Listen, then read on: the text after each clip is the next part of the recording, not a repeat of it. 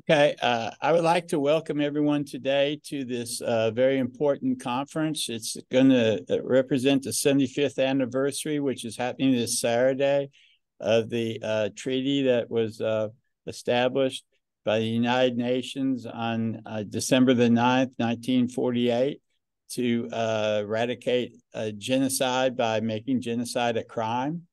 And we're going to start out with a, a little short speech from me, and then we'll have a, another little short speech, and then we'll go to the uh, um, regular program as we as we've seen the back. Uh, my name is Michael Cunningham, and I'd like to introduce or give a welcome not to the people that are participating, but to the people who gave their lives in Belarus, over 3 million people. First, let's talk about the basic right to education. Every child and every student deserves to know the truth about the world's history, no matter how gruesome or unpleasant it may be. The Holocaust was a dark chapter in our co collective lot past, yes, but it is a chapter that must not be erased or rewritten. Belarusian students, like all other students, deserve to learn about not just because of its history, but because it's a testament to human resistant, uh, real, realist, uh, resistance and the survival in the face of unmanageable cruelty. Second, the desire for truth. The youth of today are inquisitive, curious, and unafraid to question the world around them. They desire to learn about the Holocaust, not merely because it's a historical uh, event, but because they seek to understand the depths and heights of human nature. They yearn to com comprehend how such horrors could occur and how we as society can prevent them from happening again. Third, the delivery of this knowledge. We live in the age of information where the truth should not be a luxury, but a basic right. It is our responsibility as educators, leaders, and citizens to ensure that the truth about the Holocaust is available, accessible, and accurately presented to the students of Belarus. This is not a task that we can shy away from. This is a duty we must embrace. In conclusion, the term edugicide would serve as a stark reminder of the importance of education. The truth about Holocaust must not fall to the gen uh, genocide of education. It is a truth that the Belarusian students deserve, desire to learn, and is a truth they we must commit to delivering. And I believe they are well on their way with a very excellent program. And that's what we're going to be talking about today about uh, the prosecution. Now we have a, uh, a student of mine, uh, Yosvani. He's going to give a little talk about secondary education. Let me try to share that real quick.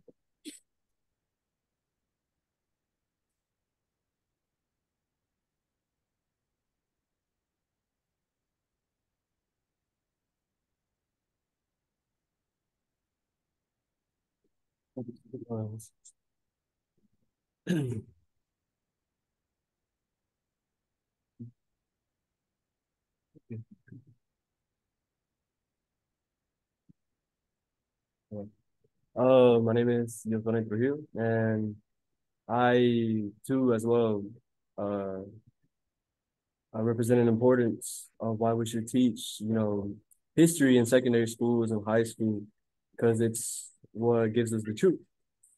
And we need to shape the future with history, understanding the present and shaping the future. History provides context for the present and guidance for the future. It helps students understand the world they live in today by illuminating past events and so societal changes.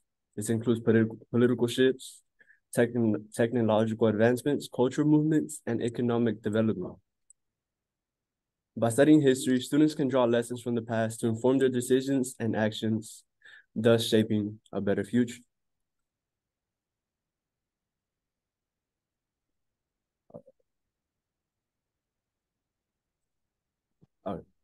Developing uh, also helps develop critical thinking. History is not just about memorizing dates and events. It's a subject that fosters critical thinking. It encourages students to question, analyze, interpret, and evaluate various sources of information. This not only enhances their understanding of history, but also equips them with essential skills that are applicable in other academic areas and life in general. And it provides awareness. Promoting cultural awareness and empathy, history exposes students to diverse cultures, perspectives, and experiences. It fosters a sense of global awareness, appreciation for diversity. Studying the histories of different nations and cultures helps students develop empathy and respect for others, which are fundamental to, fo to fostering harmonious relationships in a multicultural society. It also helps prevent history from repeating itself. The study of genocide, such as the Holocaust, the Rwanda, the Rwandan genocide, and the Armenian genocide, serves as a stark reminder of the catastrophic consequences of hate, prejudice, and intolerance. It underscores the importance of vigilance against such destruct destructive ideologies. By learning about these horrific events, students are reminded of the importance of promoting peace, justice, and inclus inclusivity and it promotes human rights awareness.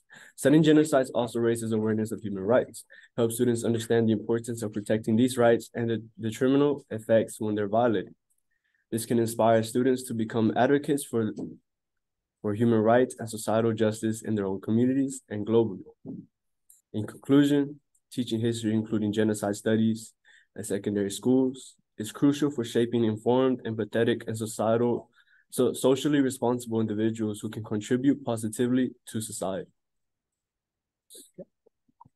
Now we're going to hear a real short introduction from uh, another one of my students. She's an intern at the uh, World Affairs Council.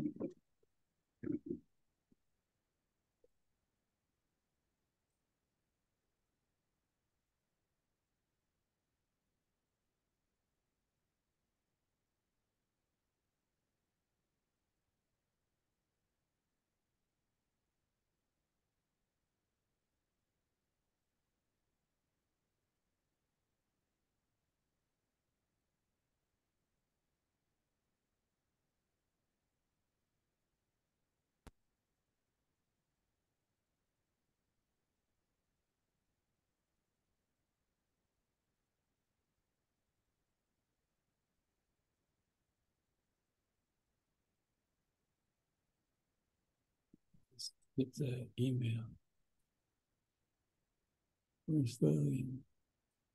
Mm -hmm.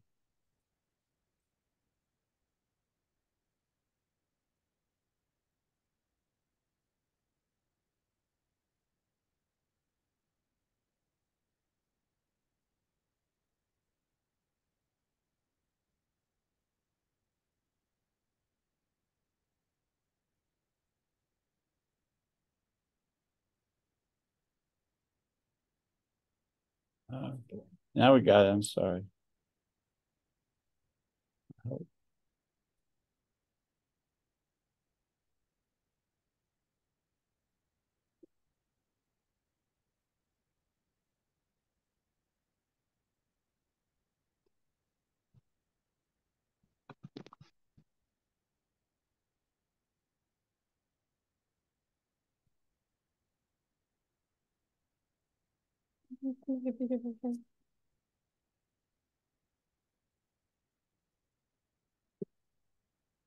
Okay.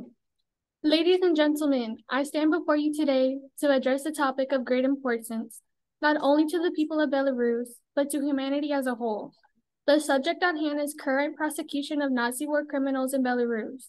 This process, though it may seem a pursuit of justice decades late, is critical for three fundamental reasons. First, it serves as a testament to the principle of accountability. It is a poignant reminder that no matter the passage of time, individuals who have committed atrocities cannot escape the long arm of justice. It is a powerful message to anyone who thinks that they can hide behind the veil of time to evade their crimes. It echoes the universal truth that no matter how long it takes, justice will always prevail. Second, these prosecutions are a crucial part of the healing process for the victims and their families, as well as the nation as a whole.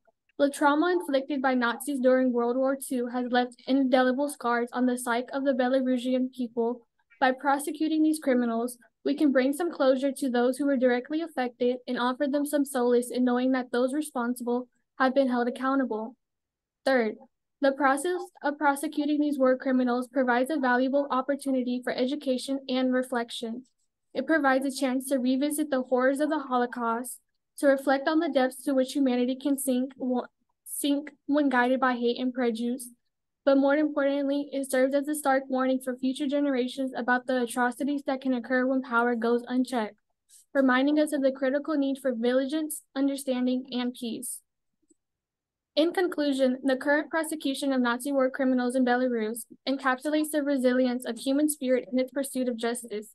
It offers closure to the victims and their families while standing as a potent symbol of their accountability. It reminds us of our past, educates us in the present, and guides us towards a future where such atrocities are forever averted. Let us remember, let us learn, but most importantly, let us ensure that such horrors are never repeated. Thank you. Okay, we should be going to that eight forty-five um, part now, please. We're going to be hearing from the Jewish Museum in Minsk. Uh, hello, dear friends, dear colleagues. My name is uh, Alexander Nelubov. I'm the director of Jewish Museum in Minsk. Uh, so, just uh, what to do? Uh, what do we mean when we speak about Holocaust in Belarus? Um, what is what is Holocaust? The murder of more than 60% of the Jewish population of Europe by the Nazis and their collaborators during the Second World War has received the name Holocaust in modern history. The Holocaust is also sometimes uh, called Shoah. Uh, in Hebrew, it means uh, uh it means catastrophe. On the eve of the Great Patriotic War, about one million Jews lived on the territory of Belarus, within its modern borders.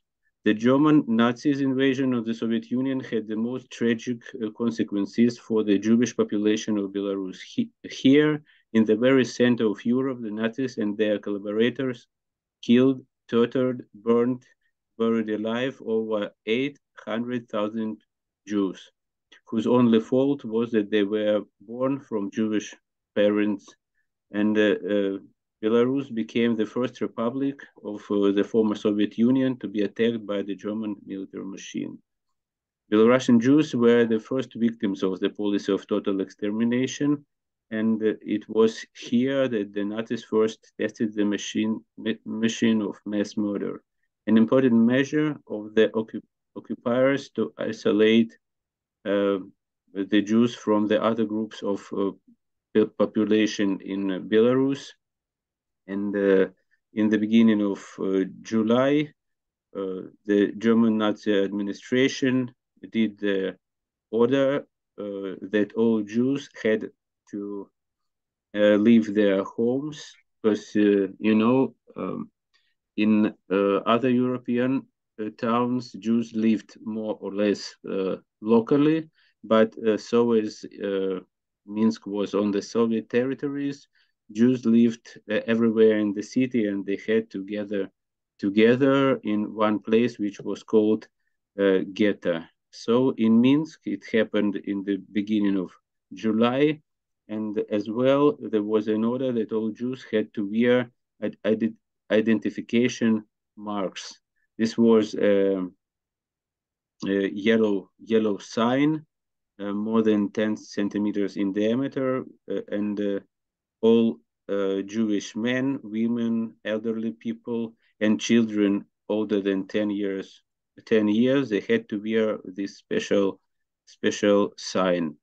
Uh, all in all, on the Belarusian ter territory, we have information about more than 300, uh, 360 ghettos and places of mass uh, uh mass confinement of the Jewish population, uh, which were created uh, during 1941. Most of the ghettos, over 200 existed in the eastern part of the republic, and uh, more than 100 uh, were created in the western part.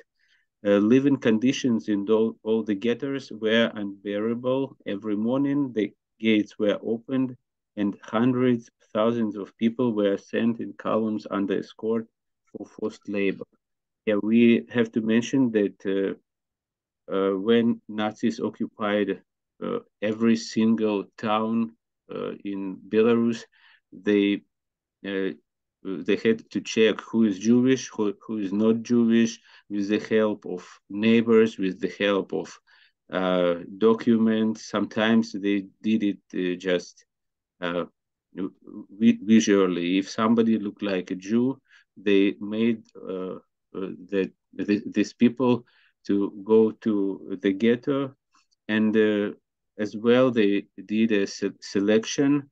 They tried to find you, you can say use, useful people who had a profession, who were craftsmen, uh, like cobblers, tailors, or people who had any other profession. And uh, uh, today, when we speak about uh, education, when we speak with children, we try to tell different stories. And we have a story of uh, uh, Mikhail Treister, uh, when uh, the Nazis came to, to Minsk city, he was only 14, 14. He was a teenager, and uh, for sure he didn't have any profession yet. But when Nazis started selection, he said that he is a he is a cobbler, uh, a sandler. So uh, thanks to uh, to to this, he he got an opportunity to survive and uh, when uh, he joined these uh, forced labor columns, he came to the craft shops and his his neighbors, his Jewish neighbors, his friends, they gave him an idea how to make shoes, how to repair shoes. And fortunately, he survived and uh, he's, he joined the underground movement and partisan brigade. And later, he saved his mother and his uh, sister and many other uh, Jews from from ghetto.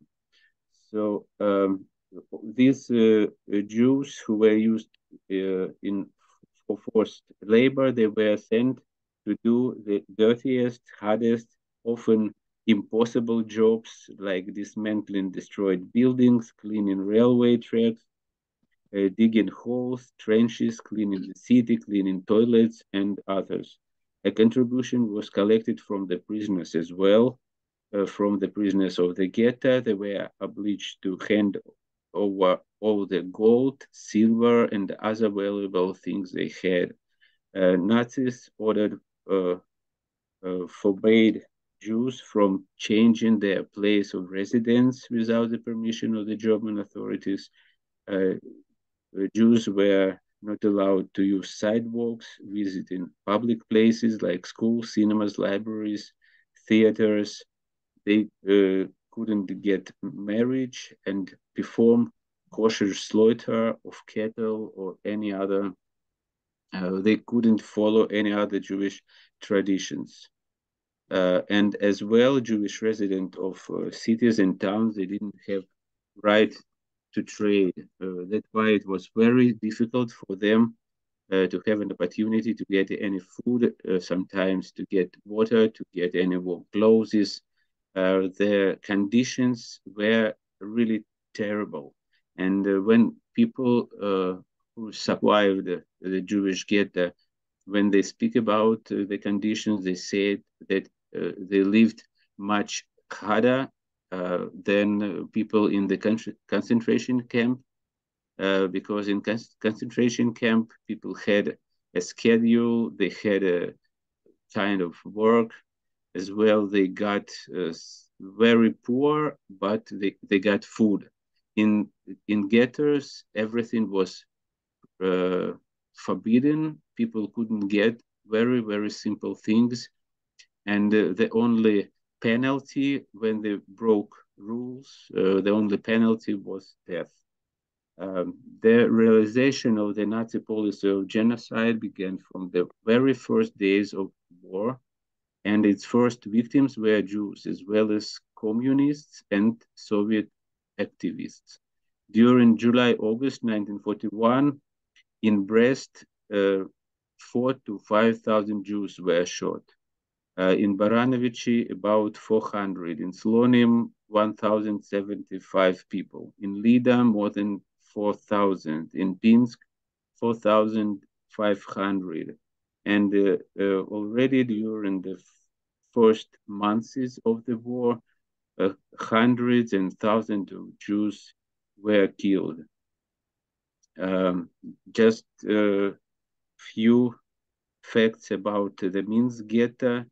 Uh, we must say that the Minsk ghetto was among the largest in Europe. In addition to the Jews of Minsk, Jews from nearby cities and towns were concentrated in the ghetto, as well as mixed families in which one of the uh, spouses was Jewish. Living conditions in the ghetto were unbearable and from, uh, yes, so um, every day every month, life in the ghetto became more and more, uh, more and more hard. And the Nazis not only exterminated people, but also uh, uh, they took them th uh, through fear, mockery, hunger to stop any thought of resistance from those who were still alive.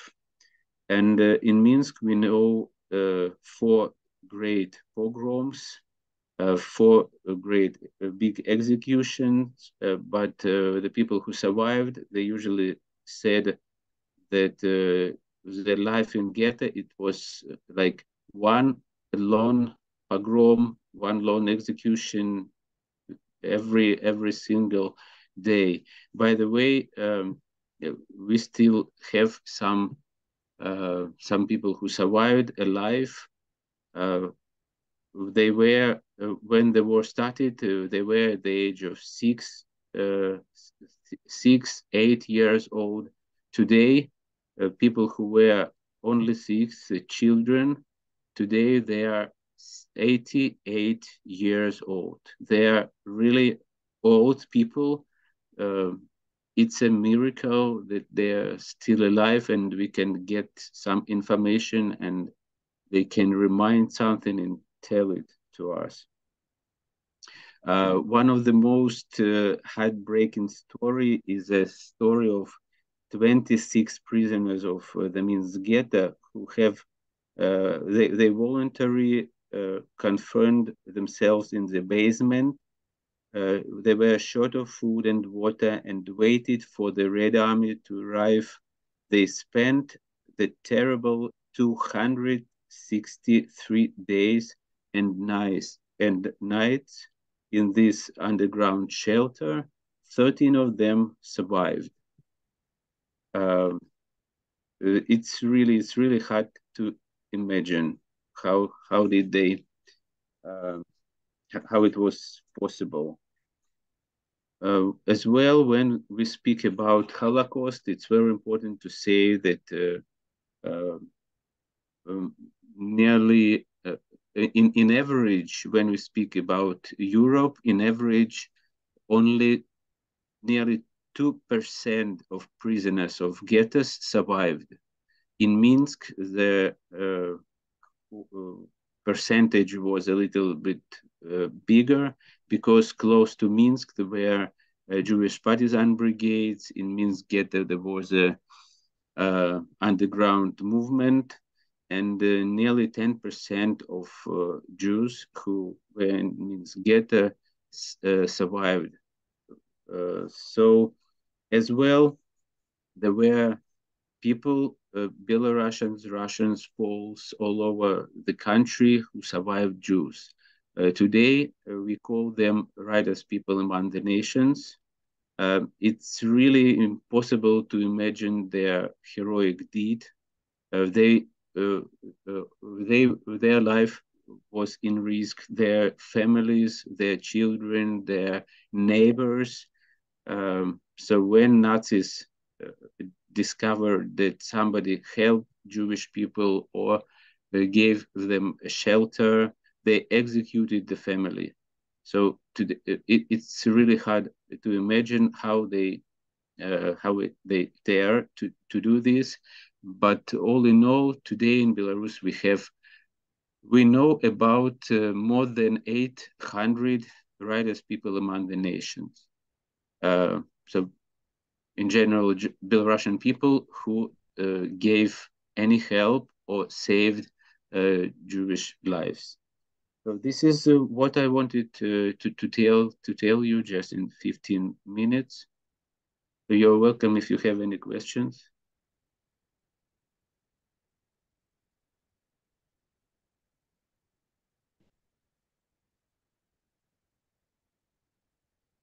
Yeah, yes. Uh, we have a couple of questions on our end. Uh, one of my students wanted to know exactly how this has impressed the uh, psyche or the uh, uh, of the uh, surviving Jewish people in Minsk area and Belarus. Oh, pardon, Michael. Can you can you repeat, please? Yeah, how has this impacted the population of the Jewish people that remained afterwards, and how has this impacted the people of Belarus uh, from what they experienced from 41 to 44, even today? Uh, you see, um, actually, uh, not so many Jewish people survived during the during the Holocaust in Belarus. Uh, when we speak about numbers, before the Second World War, Jewish population in Belarus was nearly 1 million people, uh, and only uh, nearly 800,000 people were killed. Uh, so mostly people who survived. very few people from ghettos survived, as well survived people who joined the Red Army, as well people who had an opportunity to leave uh, the territory of Belarus before Nazis came to the towns. Um, but after the war, uh, Jews from all over the Soviet, uh, Soviet Union came to Belarus. But, uh, uh, you, you, know, before the Second World War, Jewish population, it was like uh, nearly 10% of Belarusian population, if we speak in general. Uh, if we speak about several towns and cities, uh, in Minsk, uh, it was 52%, in Babruisk, more than 70.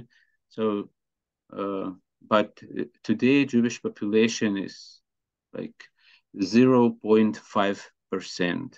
So the Holocaust influenced uh, very much uh, to the uh, to, to, to the Jewish culture uh, in Belarus. We, we can say like this.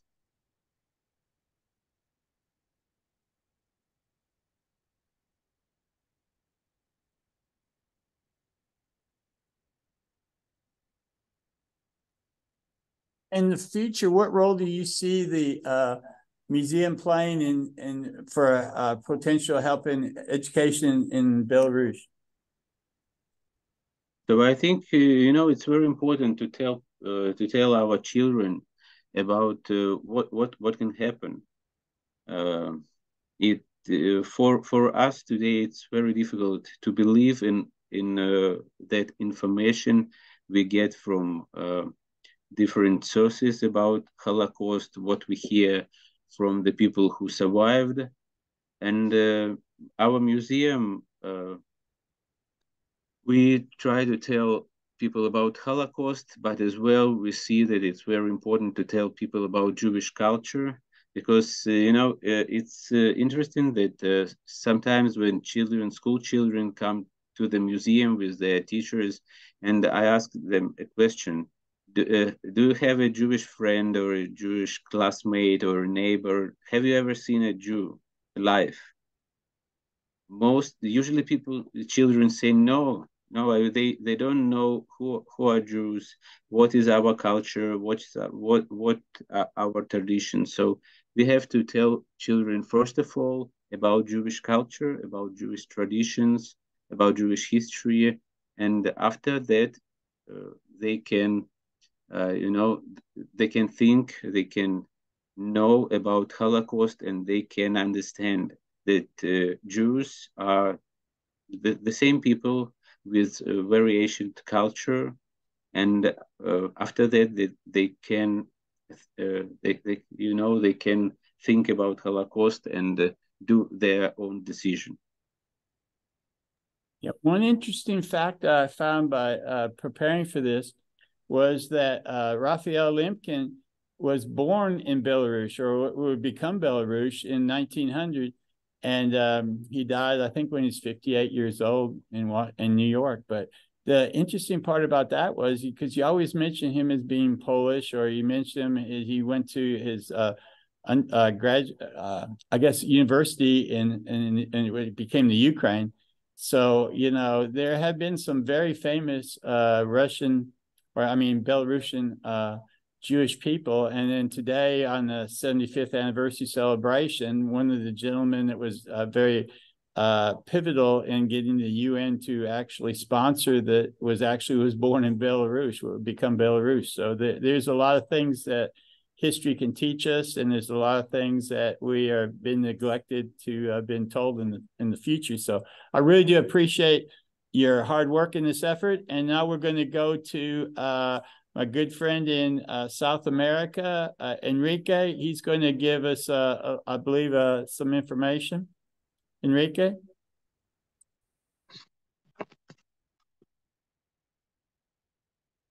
Uh, thanks, Mike, for your invitation. Uh, receive the warmest greeting from the oldest new world Peru to your great guests. Um, we congratulate the effort that you make in order to create awareness about the tragic uh, results that Holocaust and genocides have created in global consciousness. Uh, we appreciate a lot the your great uh, guests can recall and highlight we cannot forget what has been happening and still is happening nowadays. We live in South America. We have uh, excellent partners in Lebanon, Bolivia, uh, Nigeria. Their students are uh, now with us because we are not isolated from the effect that these uh, holocausts and genocides have created in global consciousness.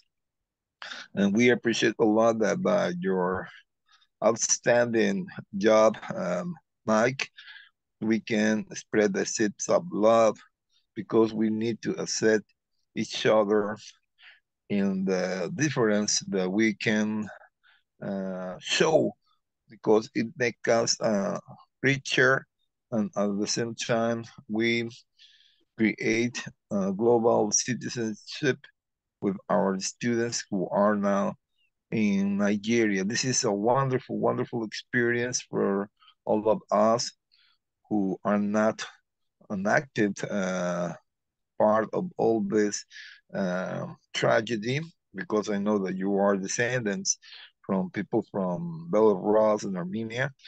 Um, now, there are other countries that are facing the same situation, this um, ethnical uh, extermination by political issues, cultural differences.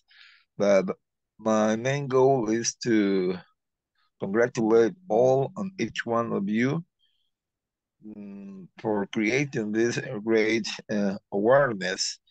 So if we forget the story, it's highly probable that it will be repeated in another occasion. And thanks, Mike, for your wonderful references. And I appreciate a lot the effort that your friends, teachers, and colleagues are making in order to promote a better uh, option for all of us to live without this kind of tragedies like uh, Holocaust and genocides. We appreciate a lot your effort.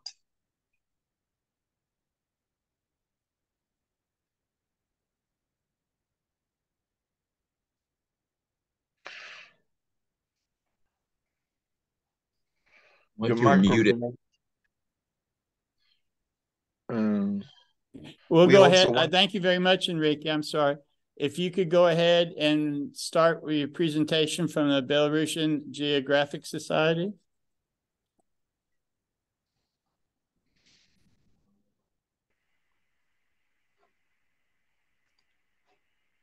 Um, good morning. Can you actually hear me? Oh, good. Great. Um, well, my name is Alex. I'm just going to share the presentation right now. Um, just a second.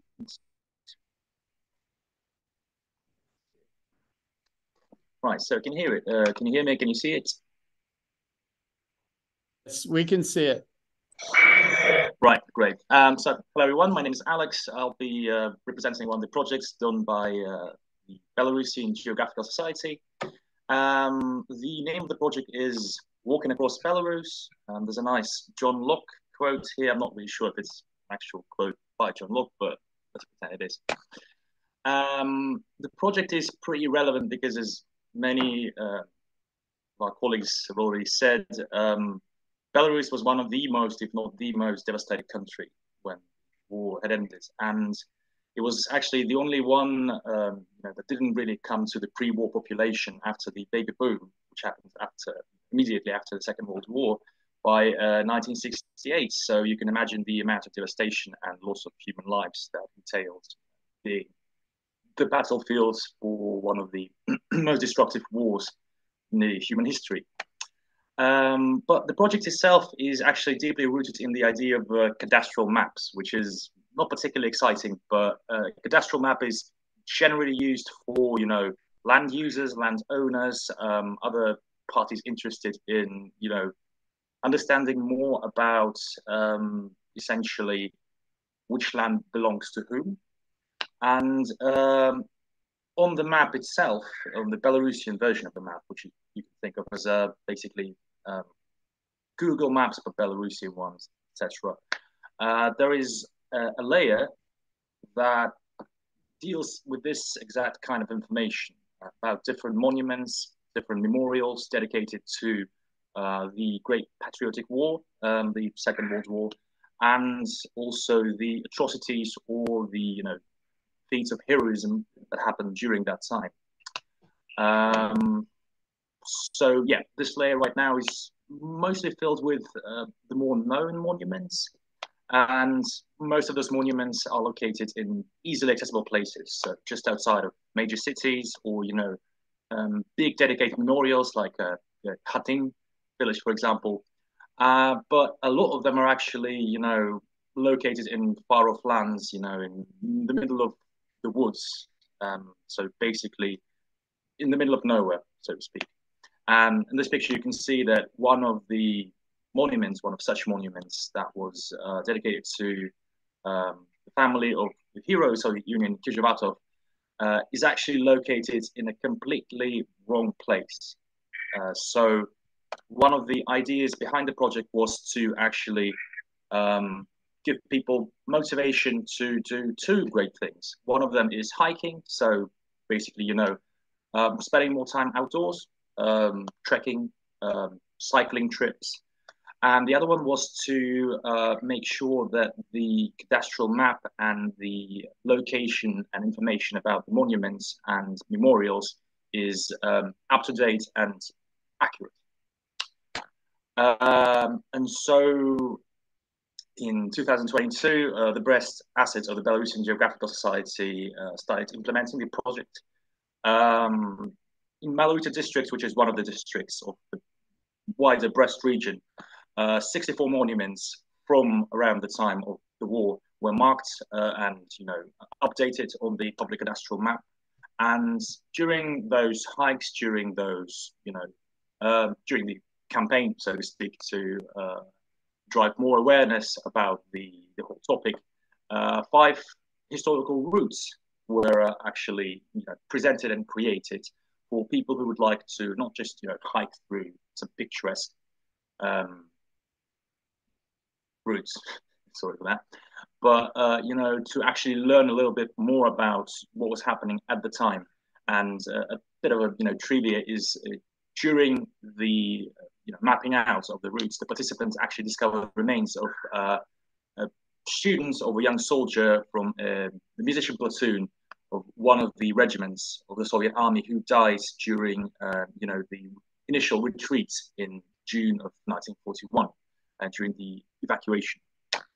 Um, and the project turned out to be quite popular with different kind of people because again it's not just you know to do with history but it's also uh, to be very hands-on with history as it's literally in the field uh, with people going to you know slightly less known places and um, learning more about their history and learning more about what they um, you know what happened to families like theirs that lived uh, 75 years ago.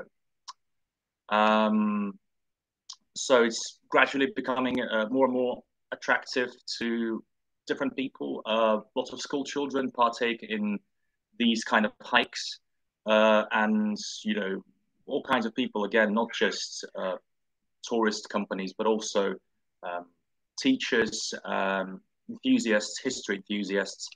Um, you know, try to help out with uh, creating hiking routes. You know, teaching children how to do topography, orienting yourselves on the land, um, basic survival strategies, uh, etc. Um, so yeah, that's more or less it. And here you can see some of the pictures that were taken during the uh, the drive. And I think here, yeah, we have uh, another thing that was quite a significant um, revelation made by some of the people who were partaking in the hiking uh, activities as they found uh, the remains of two families who were living on a farmstead, uh, homestead, and were executed by the Nazi invaders um, in the spring of 2023. Uh, another interesting thing, it happened in November 2023. Uh, it was a hike made during you know heavy snowfall time, uh, dedicated to the Panfilovs 28, which was a team of men uh, who were during the Nazi assault on Moscow. Um, engaged in heavy fighting with the German soldiers to try and stave off the initial assault and give more time to the people to evacuate. Um, some new ideas have come up uh, during you know the hikes and stuff. So like uh, the Woodland Cinema, which you can see there in the picture, which is essentially when you have a hike and little camping trip, and you also well uh, do a little bit of uh, cinema to show films, movies about the war, uh, like Go and See, which is a pretty uh, famous film, I think, about the war, um, and others. and thus also some new developments for the project, um, things that people uh, would like to implement in the future. Uh, to do more about the trekking, um, you know, and search and rescue movement in the Republic of Belarus, and uh, it's also a project that might be a very important milestone in developing new permanent routes for historical tourism that is quite uh, popular here in Belarus as well. And uh, that's basically it. So if you have any questions, I'll be more than happy to uh, answer those.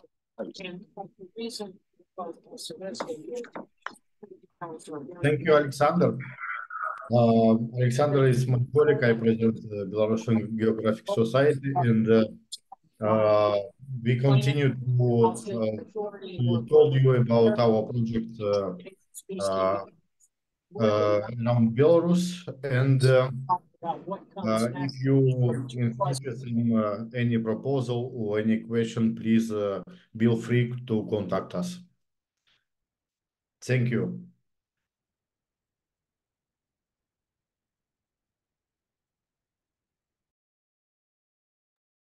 Yeah, um, thank you so much, uh, Pablo.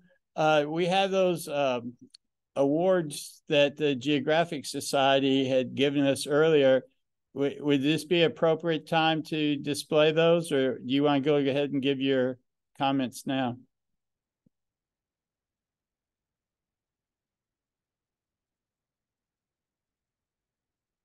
Pablo?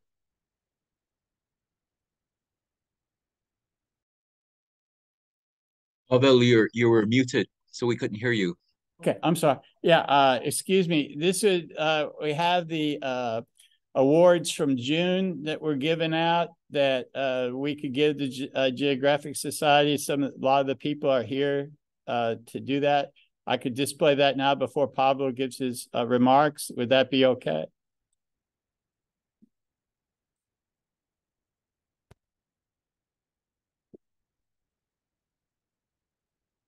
Okay. Uh, Ben, you may want to do the first one here. Yes, we're very honored to award Mr. Pavel Shidlovsky with this honorary degree for your commitment to the cause of genocide awareness. Pavel, it's been a, a pleasure working with you throughout these many years, and, and thank you again for your support of this important program, which teaches so many young people here in Texas and throughout America about the situation that occurred in Belarus. Okay, and all this will be given to you guys in in the after program that we have, and we have some other special materials included. So, the next one, um, if you could go ahead, someone from the Geographic Geographical Society could read off the person's name, please.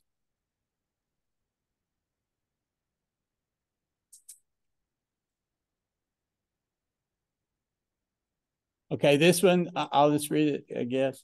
This one is from the Belarusian Geographical Society. It's for Ben Ramirez, uh, Executive Director of the World Affairs Council of Austin. He's being honored with honorary geographic education. Uh, this is the uh, mayor of San Marcos. Uh, she was with us in June, and uh, Jane Hughson, and she is getting a her honorary doctoral degree in geographic education from Belarusian Geographical Society. Uh, this is myself, Michael Cunningham, uh, getting honorary doctoral degree in geographic education. I would like to mention I do have two degrees in geography, so this is something that I've had an academic interest in for many years, uh, mostly in uh, migration patterns. So uh, th- this this was very uh, very very nice. We have uh, our mayor of Austin, the the tenth largest city in the United States, Kurt Watson. Uh, he was at a meeting day, but he's uh, expressed his desire, and he actually has a little video here. Oh, we're going to show. Hi, I'm Kirk Watson, Mayor of Austin, Texas. Studying history is important.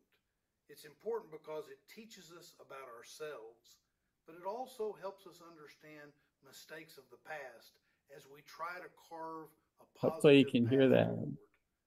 You're doing very important work teaching about the, the horrors of genocide. I want to thank you for making sure that we don't repeat the mistakes of the past and that we're better people. It's a, a very nice tribute to a, a very busy mayor who's uh, took out some time to actually do that. So we appreciate that so much. It's important because it teaches us about ourselves, but it also helps us understand mistakes of the past as we try to carve. We have just a few more. Sorry. You're doing very important work teaching about the, the horrors of genocide. I want to thank you for making sure that we don't repeat the mistakes of the past and that we're better people going forward.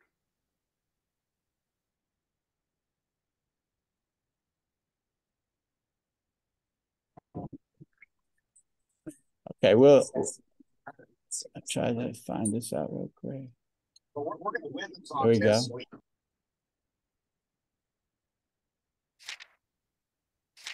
Here we have Vanessa Fuentes. Uh, Vanessa is our councilwoman for the city of Austin in District Number Two. Here we have Kate Means. Uh, Kate Means is uh, uh, a AGBU AVC intern and also an intern for World Affairs Council. Kate, could you come over here and thank them, please?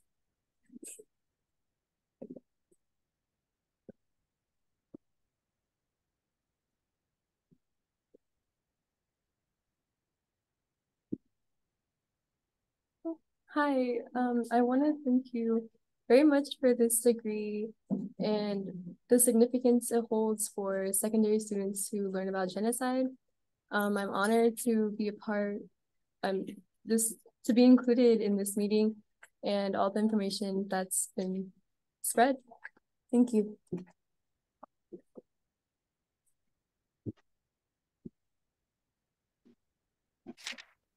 Next, we have Lillian Kidler.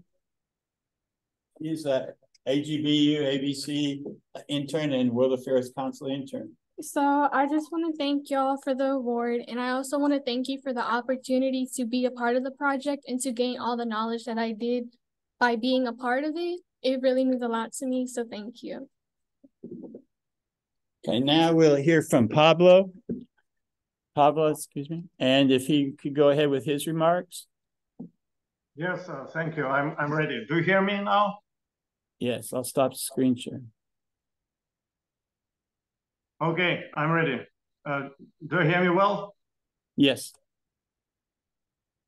Uh, I would like, first of all, to thank uh, Mike Cunningham, my friend and director of the Geography of uh, Genocide Project, for this uh, important and timely conference and for inviting me to speak. I also thank Ben Ramirez uh, of the World Affairs Council Austin for uh, the award that he has bestowed on me. I, I, I really appreciate that. I wholly agree uh, with Mike that Holocaust genocide is a chapter not to be erased. And I agree with Ibrahim, who spoke earlier, that history helps shape a better future. I also agree with Lillian that justice will always prevail. I will uh, speak uh, on the topic of uh, what it means to be a Belarusian 1941, 1944, and now. Actually, the Belarusian Geographical Society project is a good example of a connection between the past and the present. Uh, I will start with a personal story. My dad, Adam, was born in 1924. He would have turned uh, 100 next year. He was a partisan during the war. And I had the privilege of hearing firsthand about courage and resilience that the undefeated Belarusian people demonstrated during the Great Patriotic War. the war which we waged against the Nazis, protecting our statehood, our families, our right to live. Thanks to my dad, I feel very strongly the connection of the generations. Uh, I came to realize that historically 80 years is a blink of an eye. I have many times visited his native village of Tashki, 40 miles to the north of Minsk the village has remained very much the same over the years. And I dare to say, so have the people of Belarus. In 2021, just like 80 years ago, we Belarusians stood up against outside attempts to chip away at our sovereignty and at the things we normally take for granted, like prosperity, security, peace, life. The difference between now and then is that the war waged against, against our people now is not fought. That the people are not dying and the property is not destroyed. But nevertheless, war is no less dangerous. It is a hybrid war, invisible, waged in information and cyber spaces. It is aimed against our people, especially younger generation.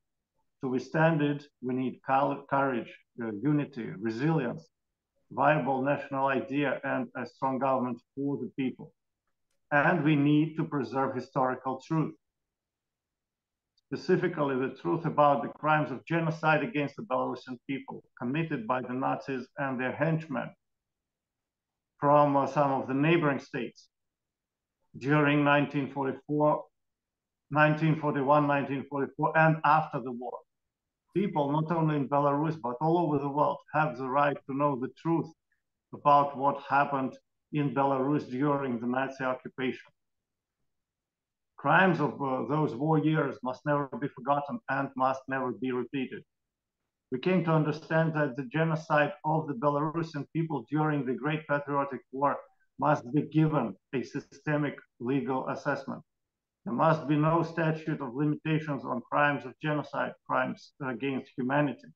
Perpetrators of these crimes must be persecuted to the fullest extent of the law, no matter if they are alive or dead. Defeating Wehrmacht and persecuting Nazi criminals was not enough. Nazism is again raising its ugly head. Some countries are openly supporting Nazi ideology. Some are attempting to apply collective responsibility on entire peoples and nations. The recent standing ovation for a Nazi criminal in the Canadian Parliament is a telling example how far it can go. And another good example out of concern for spread of uh, anti-Semitism and radicalism, in Australia, the Prosecutor General of Australia ruled that Nazi salute is a criminal act according to the federal law of Australia. In this effort, in this context, I appreciate the efforts of Mike Cunningham aimed to raise public awareness in the US and abroad about the inhuman nature and long-lasting consequences of genocide in the framework of his unique geography of a genocide project. I also applaud, applaud Mike's decision to include the discussion of genocide uh, of the Belarusian people in his project.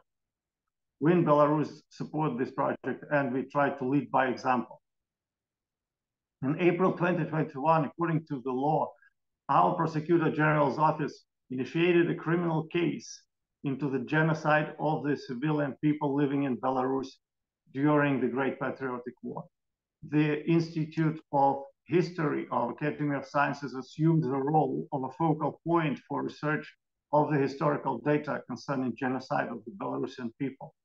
Analysts, educators, scientists, local authorities from all over the country are actively involved. I am pleased to announce here that the Office of the Prosecutor General of Belarus has invited Mike to participate and deliver address at the international conference to be held in Minsk on December 7th, just uh, three days from now, dedicated to the 75th anniversary of the adoption of the UN Convention on the Prevention and Punishment of the Crime of Genocide. Belarusians were subjected to all forms of genocide as defined in the convention.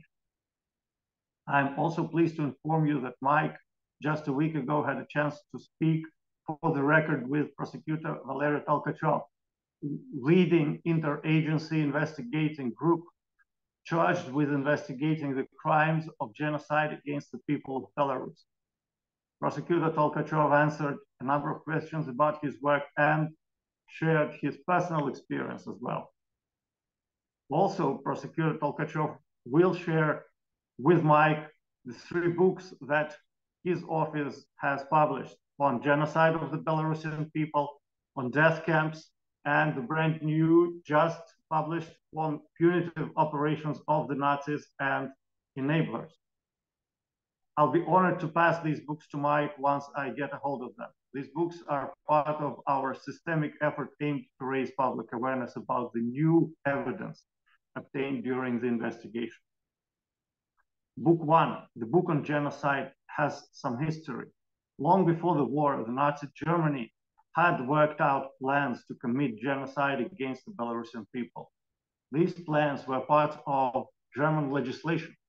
General Plan Ost of March 1941 order on military jurisdiction in the area of Barbarossa of May 1941 made atrocities against civilians as part of state policy of the Reich and provided for the acquittal of soldiers of the crimes committed.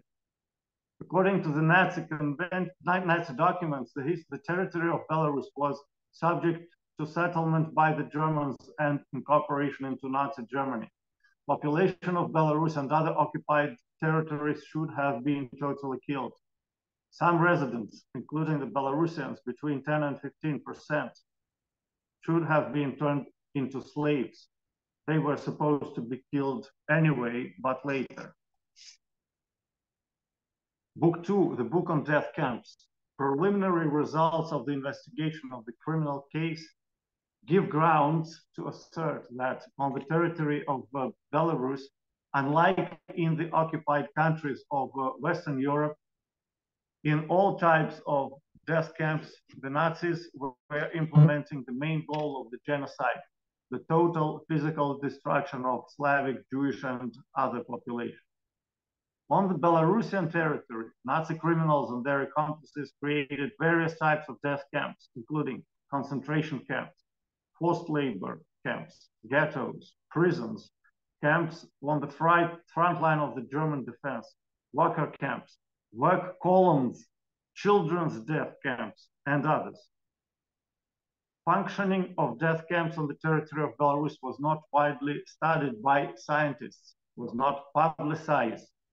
Now, this topic acquired particular significance due to the need to prevent falsification of history, distortion of the actual events. Book three, the book on punitive operations shows previously unknown to the general public materials about planning and implementing by the Nazi Germany of the policy of genocide on the territory of Belarusian Soviet Socialist Republic by means of mass punitive operations. The book shows that the war of extermination, including unprecedented in its severity forms and methods of extermination of our people, was planned by the Nazis long before the actual military invasion of the Soviet Union territory. The book presents evidence showing that from the first days of the war, the Nazis not only used forms of mass extermination of our citizens, but also thought out the most effective and efficient among them. There is also evidence of the participation of collaborators in Nazi crimes and punitive operations. The book describes specific examples of Nazi training of punishers from among Belarusian nationalists, who after training in special intelligence and sabotage schools served in the interests of the realization of the Nazi policy of genocide. Presenting the latest book, the prosecutor general's office's spokesperson said that during the Great Patriotic War, the Nazis carried out in Belarus at least 187 punitive operations. Before the investigation of the criminal case of genocide, it was known about 140 such operations carried out by the occupants on our territory. Today, we have the opportunity to assert that the Nazi criminals carried out at least 187. The latest data and documents prove that the Nazis and their accomplices not only hanged and shot our people, but also dropped poisonous substances on them from airplanes. Nazis were resourceful in exertions to establish through their experiments the most effective ways of exterminating our population. Possible deportation of the Belarusian people to Germany and other countries of Western Europe for slave labor was carried out to the fullest extent. The Nazi occupants reached heights of cynicism, inventing names for their punitive operation like Winter Magic, Spring Festival, Rabbit Hunt, to conceal their true goals. A couple of days ago, Prosecutor General Belarus Andrei Shved stated that in 2021, during the investigation of the criminal case on genocide, a principled decision was made to declassify almost all criminal cases considered in the post-war period by courts and related to Nazi criminals and their accomplices. Today, more than 42,000 archived cases that were not previously available to the public were made public. The cumulative analysis of the specified criminal cases once again shows, allows us to draw a conclusion about the true plans and objectives of the Third Reich to destroy the civilian population of the Belarus, Belarusian Soviet Socialist Republic. Nationalist units from almost all of Western Europe took part in punitive operations. almost all of modern NATO was here. That's what was said by Andrei Shved. He also drew attention to the unmotivated cruelty of the invaders and devaluation of human life. His office will continue to strive to bring to criminal responsibility every living Nazi criminal, despite the fact that these people enjoy the protection of foreign states and are hiding in their territories. It is important to form an impartial picture of the genocide and show the true role of the punishers through the decisions of the national courts. It is necessary to reveal the role of every one of them in punitive operations. Why investigate now after 80 years elapsed? Because the memory of that war for all of us is sacred. Every family has people, ancestors, who either fought or died or were killed by the Nazis during the occupation. The subject is painful for us because witnesses in these horrible events are still alive. Because we see attempts of the today's offsprings of the Nazis to rewrite the history, to distort the great victory, to turn thugs and, and killers into the righteous. For the number of reasons we kept silent in the Soviet times and after getting independence, about a number of reasons. It was politically incorrect. Many collaborators, enablers of the Nazis, were from the former Soviet republics, so we chose not to agitate ethnic hatred. For over the last, but, but over the last years, they were not thinking of how to instill rejection of Nazis into the children, but how to breed neo-Nazis. A second Drang nach Osten, march toward the east, is being prepared or even started. In 2020, during mass protests, it was neo-Nazis who formed the nucleus of the strike force aimed to take over state power in Belarus.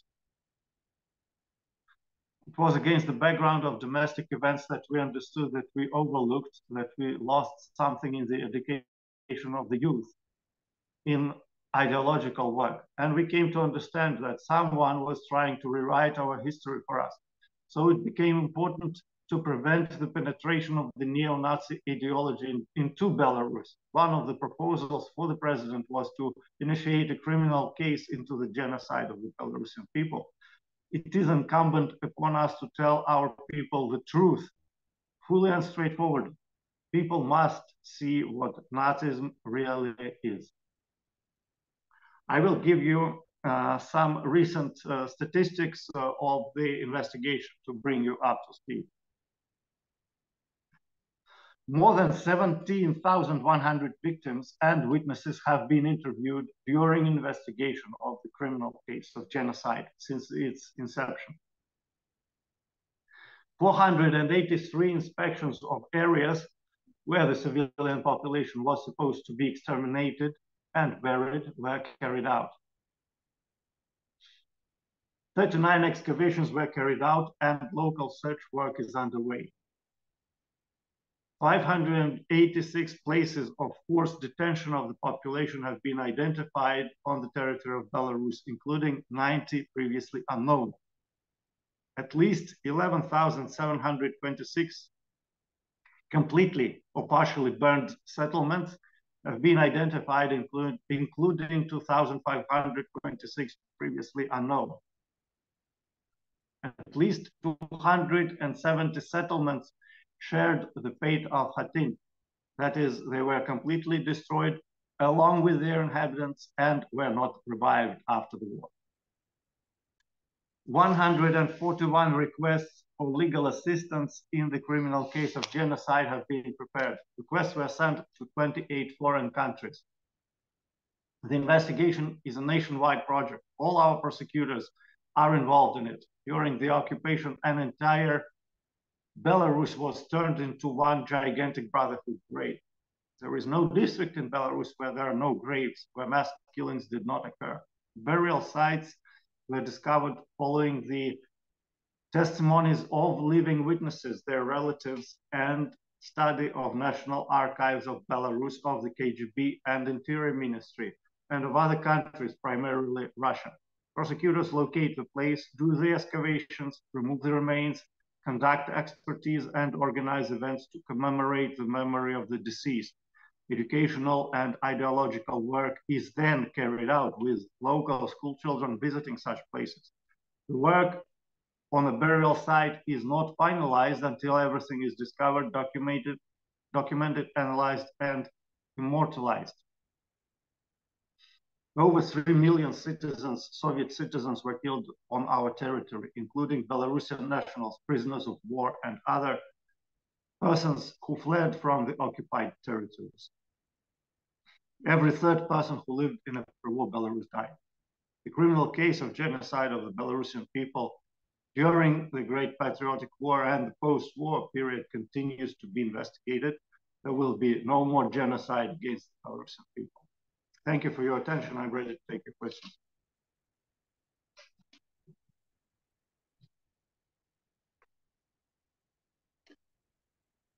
Thank you very much, Pavel.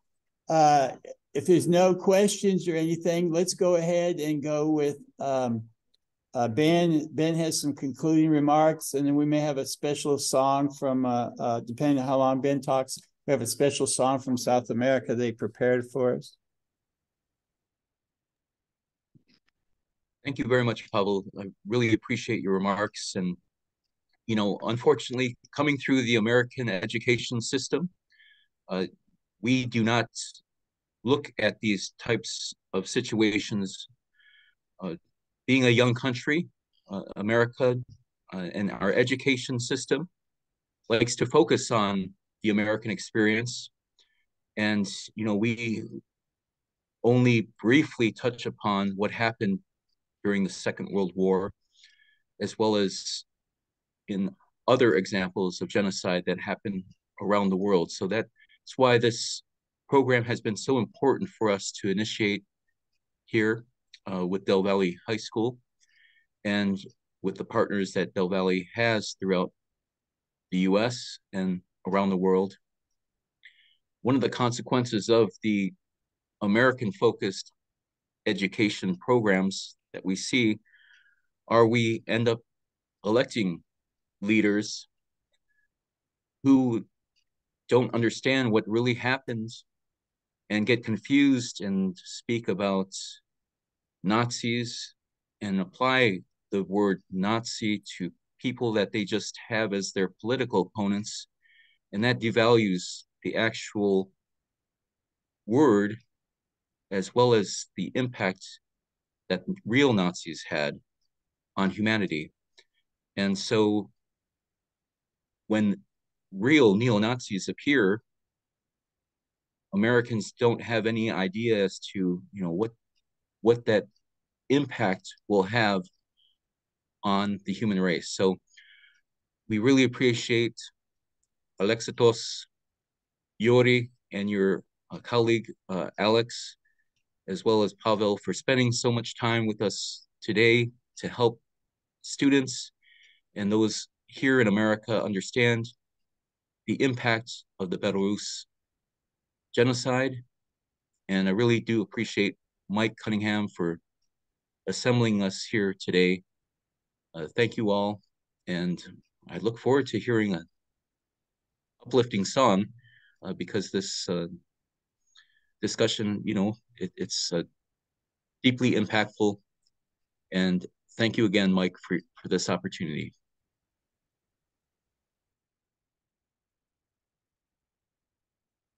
We're going to play a song here if it works out right.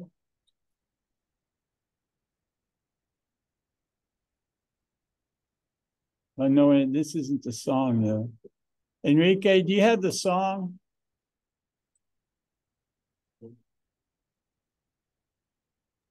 I have sent you the link in your inbox. Okay, go ahead. Uh, uh, I will. Wait, wait, wait! I will send you the song with the uh, Belarus uh, flag. Okay. Okay, give me a second, sir. Yes, they have some the students from Africa singing this uh, song give about. Me a second, uh, give me a second. Give me a second. Give me a second. Okay. In the meantime, I would like to share the, the, the gratitude that I have for all, all of you that participate today and for the people that participated and uh, put in some stuff for our book that we're developing on this area. Uh, this is uh, something I was uh, put on one of the highlights, and I shared with Pablo earlier. My grandfather, uh, the person I was named after, great grandfather, was a um, pretty famous. He was state senator from Idaho, and he was also owner of a newspaper. And at the end of his life, he was a, a course foreign correspondent in Washington D.C. That happened to be where I was born. But the uh, the thing that was significant about it is when you get to to actually live history, and you could feel the intensity of uh, being able to talk. Uh, I, I believe on the 27th of last month uh, with the prosecutor, and and how he really felt about the, these things. And he's telling, sharing with us some of the stories about some of his relatives that were died and uh, in that war. And I shared the fact that my grandfather ended up dying in 1944 as well. So uh, we have a lot of commonalities.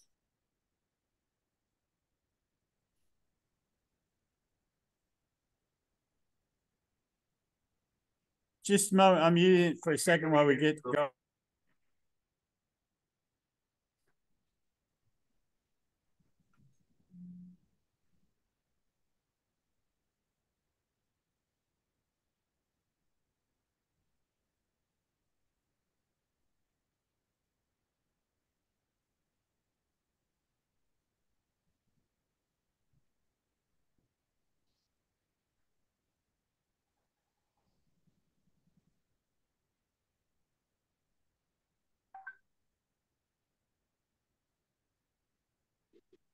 Yeah, we, we're going to have announcements for a bit. So this might be an opportune time to say thank you so much from our end, and we really appreciate it. And for people continuing, we'll have another conference that begins at 10 o'clock. Uh, for the people who are not continuing, I sure appreciate it. Thank you so much and have a great evening in Belarus and a great evening wherever you're at. Thank you.